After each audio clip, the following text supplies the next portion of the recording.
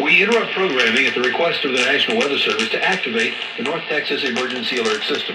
The National Weather Service issued a severe thunderstorm warning for Ellis County until 5 p.m. The severe thunderstorm is located over Waxahachie, moving southeast at 30 miles per hour. The storm may contain 60 mile per hour wind gusts and penny-sized hail. Once again, a severe thunderstorm warning has been issued for Ellis County until 5. A severe thunderstorm located near Waxahachie, moving southeast at 30 miles per hour. All North Texas stations affected by this alert are requested to relay the preceding message.